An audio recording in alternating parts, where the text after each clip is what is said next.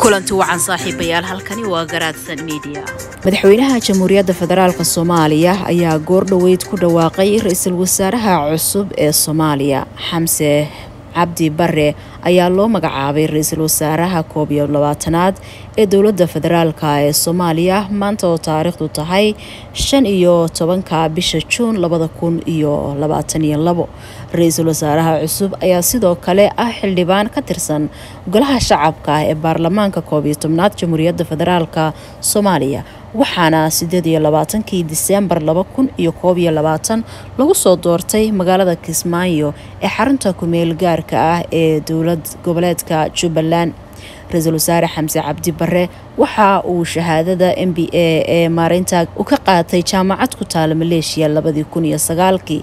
Halka shahaadada bajularkana uu ka qaatay jaamacad ku taal dalka yemen labadii kun iyo kowdii. Ra'iisul wasaaraha cusub ayaa horey u soo noqday gudoomiyaha guddiga doorashooyinka jubbaland labadii kun iyo sagaal iyo tobankii ilaa labadii kun iyo labaatankii. Waana midda u sahashay inuu maanta baarlamaanka soomaaliya ee koob iyo tobnaad ka mid noqdo. Sidoo kale ra'iisul wasaare bare waxa uu ahaa xogayaha guud ee xisbiga u d b muddadii u dhexaysay laba kun koob iyo toban ilaa laba kun iyo toddobiyo toban. Xisbiga u d b oo uu hogaamiyo madaxweynaha haatan talada haya mudane xasan sheekh maxamuud taas oo ka dhigan in xasan sheekh maxamuud uu doorkan soo xushay xubin in badan ka tirsanayd xisbigiisa khaasatan xog hayntiisii taasi oo ka duwan tallaabadii madaxweyne maxamed cabdulaahi farmaajo u qaaday labadii kun iyo toddobiyo tobankii taas oo xulashadiisu ay ku qotontay shaqsigaasi fiigiisa iyo aqoontiisa shaqo. Xamse cabdi bare ayaa taariikhdiisa siyaasiga ah aada loogu falanqeeyey baraha bulshada maalmo badan ka hor doorashadiisii dadka dhaliilsan ayaa sheegay in uu xiriir dhow la leeyahay sirdoonka kenya taasi oo dad badan shaki ku abuureysa marka dib loo milicsado doorashadii jubbaland ee labadii kun iyo sagaaliyo tobankii labadii kun iyo labaatankii. Iyo faragelinta kenya ay jubbaland ku haysay xilligii doorashadaasi ay dhacaysay. Beri iyo beri damberi ka dambeeya wixii ka dambeeya doorashadii waa dhacaysa. Annaga maanta waxaa noo yimid wafti heer sara oo kenya ah wasiirka arrimaha dibadda ee kenya kii sirdoonka iyo kii taliyaha ciidamada. Saddexdaas wafti hogaaminayaan baa saaka subaxba noo yimid. Madaxweyne la quraadeen waxaa yidhaheen waxaan u nimid inaannu ku dhiiri oo jubbaland annagaa dhisnay cid dumin kartoon annaga ahay nima jirtaan. Caalamku dhan isu yimaadaan. Wax sharci darran wax ku dumin karaa maba jiraan. Wax sharci oo haystaan dadkan ordayaana maba leh. Etoobiya haddayin hadday soomaaliya yihiinba cidina marka aanu waddanka ku soo dagaalamaynin oon garab nooguma dhaqaalana noguma siinhaynin marka waxba ha baqina bay dheen doorashadiina qabsada. Etoobiyana annagaa la hadlayna waxa ay jubbaland ka rabto waxaa kaloo yidhaahdeen hadday xitaa dagaal istaagto shalay ayay ahayd markii safiirka soomaaliya ee dalka kenya maxamed nuur tarsan uu ka baxay kulan casuumaad ah oo madaxweynaha kenya uhuru kenyatta u sameeyey safiirada dalkiisa ku sugan.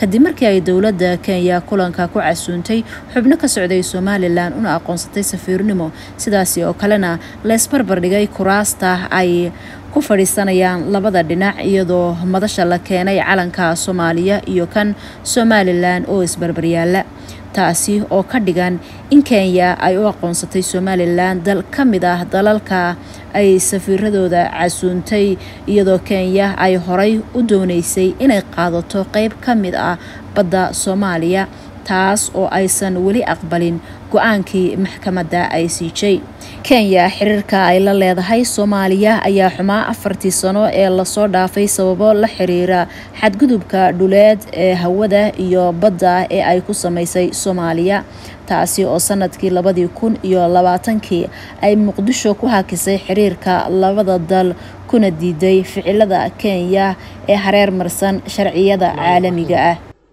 dowladda federaalka soomaaliya iyada oo ka duulaysa madax bannaanideeda qaran ee uu damaanad qaadaya xeerka iyo qaynuunka caalamiga gudanaysana waajibaadkeeda dastuuriga ee ka saaran ilaalinta midnimada qarannimada iyo xasiloonida dalka. Waxa ay go'aansatay inay xidhiirka diblomaasiyadeed u jarto dowladda kenya. Dowladda federaalka soomaaliya waxay u yeedhanaysaa dhammaan diblomaasiyiinteeda ka jooga kenya inay dalka dib ugu soo laabtaan. Waxayna ku amraysaa kuwa halkan ka jooga dowladda kenya inay dalka kaga baxaan muddo toddoba maalmood ah oo ka bilaabanaysa caawa oo bishu tahay shan iyo tobanka disembar laba kun iyo labaatan.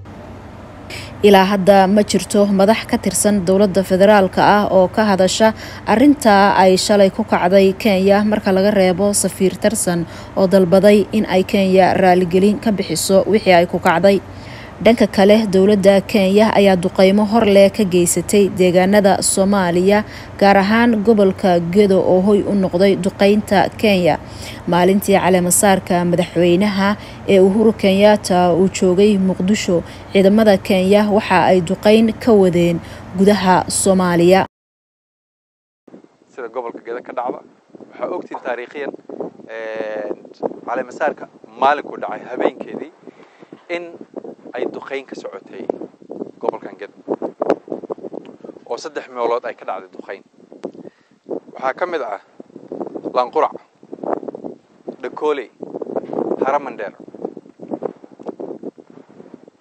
لكن ماذا حوينا كان يوكسو قيب قلي حفلتي. ولما يسرت حفلتي سي.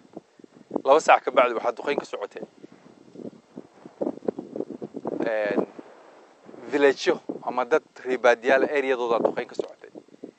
Dowladda dariskeena su'aasha aan kaga tegayo qof walba oo muwaadin soomaaliyeed ayaa waxay tahay in ciidankiisii ay duqeymo ka wadaan gudaha dalka aada madaxweynaha ka tahay ma ku casuumi lahayd caleemasaarkaaga